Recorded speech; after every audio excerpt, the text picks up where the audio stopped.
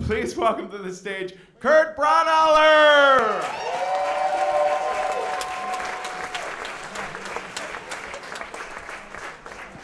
Hi, everybody. It's me. Big Kevin. No, Kevin with glasses. Big 80 miles. it's two ladies and then three guys who are all just gingers. Okay. All right, let's get started. I, um, I've only been in one bar fight my entire life. Um, and I know what you guys are thinking like, what? You? Only one bar fight? You, the guy who looks like a middle aged Muppet who works at IBM? You? and it's true, only one bar fight. Uh, and the bar fight happened in Baltimore, Maryland, uh, where I lived for four years in the 90s. Uh, I love Baltimore, uh, but when you live in Baltimore, you kind of like love it and hate it. Like, it is the place where The Wire was filmed. Like, it's a fucking crazy place. Uh, my favorite thing about Baltimore, at least when I lived there, they had all these um, uh, bus stop signs, bus stop like on the bus, the seats of the bus stations. What are they called? Bus benches. On the benches of the bus stops, uh, had been painted on every one. Uh, Baltimore, the city that reads. Uh, but every single one had been vandalized to read Baltimore, the city that breeds. Uh, but they just put a B in front of reads. So everywhere just said Baltimore, the city that breads.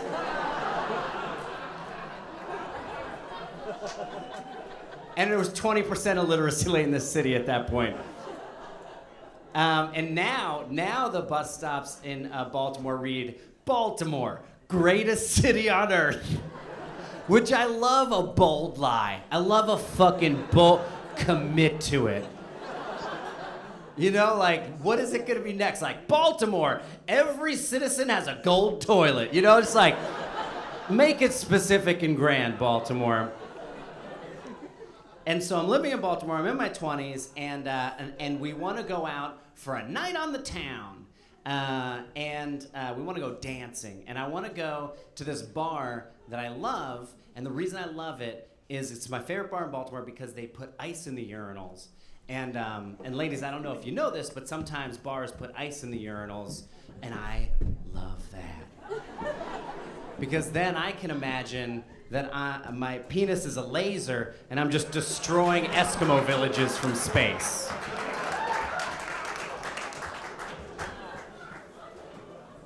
So we go to this bar, and it's in a part of town called Hampden.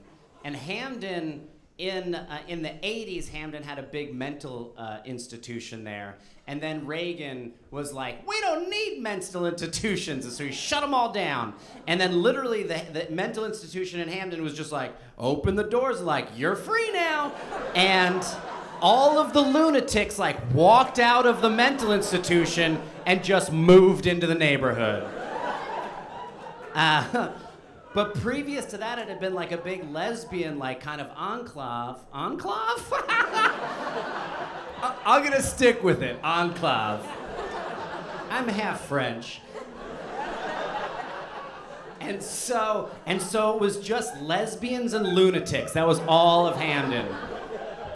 I remember there used to be this one guy who would stand on the corner in Hampden. He, had, he would only wear a bathrobe, and in his hand he would have like a bunch of different types of brushes, like toothbrushes and hairbrushes and paintbrushes, and he would just scream, "Personal hygiene, one dollar!" Love that guy. Like you would walk up to him and give him a dollar and brush your teeth. Like I don't know. But that was the kind of place Hampden was. And so this bar is in Hampden, and we go there, we go there to dance, and the DJ there, his name is DJ Jazzy, which is a name I would make up for him if I wanted to make fun of him. But he's already chosen it for himself. And, um, and he's not a great DJ, and so uh, we were like, this music sucks, we're just gonna get very drunk. And we got very, very drunk. And at 2 a.m., when bars, bars close in Baltimore, we, everyone gets kicked out of the bar, and there's a whole bunch of people on the, on the side of the street. And, uh, and I'm drunk with my friend, and my friend leans over to me, and he's like, hey man, I think DJ Jazzy just called you a douchebag. I don't know why he said that. DJ Jazzy was pretty far away. I don't think he could have heard him if he said it. But uh, I was really into spelling things at the time. Don't ask. And uh, my my response at that moment at 2 a.m. was just to start scream spelling douchebag back at him, just like D O U C H E B A G D O U S C H E B A G. Like I don't even know how to spell douchebag. But I just continued to do this and agreed why I was doing that is confusing. But why DJ Jazzy chose to take offense is still beyond me. But he did, and he started to approach me, and like, and now I'm still scream spelling douchebag in his face, which you can understand is very upsetting at that point. And he like gets in my face, and I was like, oh no, I'm gonna have a fight. And had never been in a fight in my life before, and I was like, well, we gotta come up with a plan. So my plan is, is that I decide this beforehand. I'm like, I'm gonna fly through the air and attack his soft middle parts. End of plan. Because in my head, like that's what a bear does when it attacks, you know, it just wants to flip you over and paw you open, so I'll get all your insides out, you know? So that's what I'm gonna do, like his vulnerable areas, you know, his belly. Uh, and uh, and he and like he like you know he's in my face and he pushes me and I get a little bit off balance, but I'm like enact the plan. and I I leap I leap at him, like leave the ground completely, like just jump like this.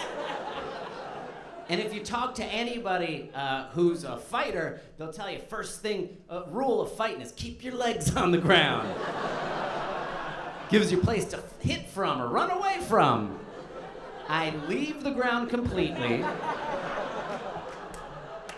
but I'm a little bit off balance because he's just pushed me. So I not I don't connect with him at all. I just kind of graze his side and fall to the ground, uh, spraining my wrist and taking the skin off my arm from here to here. And now I'm on the ground and I'm fucking furious. Because this is my first bar fight, and all of my injuries are self sustained. and I. And I remember being on the ground and having the very specific thought of like, what if my children saw this moment?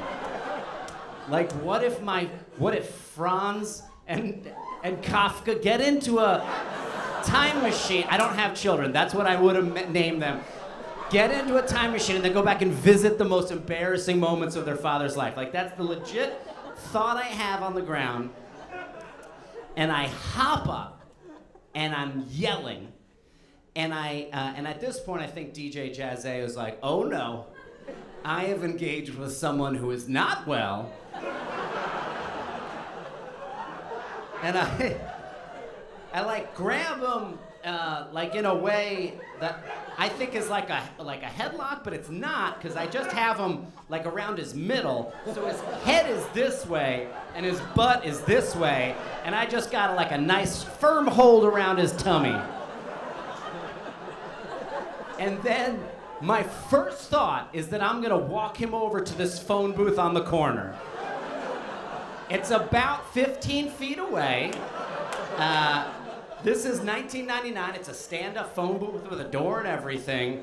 And like, I don't know what I was gonna do. I was like, kick some ass and make some calls. Like, I don't know. But I was like, first thought, best thought. Like, gotta commit. At this point, you know, we're just kind of waddling over to the phone booth. And it takes long enough for both of us to be like, what is happening? Why are we fighting? This escalated quickly. And I think what I was gonna do is I think I was gonna like smash his like head into the to the I don't know the phone booth, but his arms are totally free. So I go to do that, and he just kind of pushes the door open, and then he kind of gets pushed in, and then I'm holding him. So then I'm in now. Now we're in a phone booth together.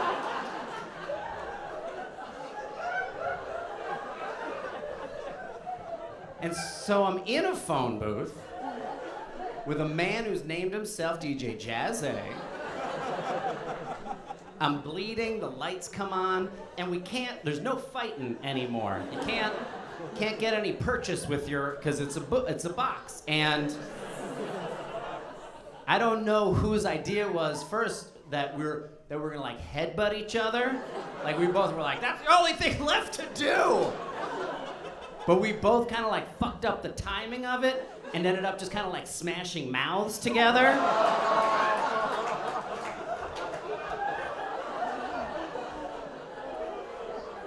So I'm in a phone booth DJ Jazzy. I'm bleeding, the lights on. It's a far too intimate space for a fight. And uh, it's my first bar fight, and I just kissed a dude. And then our friend, like, we bust out of the thing, and his friends grab him, and my friends grab me. I'm like, yeah, that's right. You get out of here, or else next I'm gonna suck your fucking dick.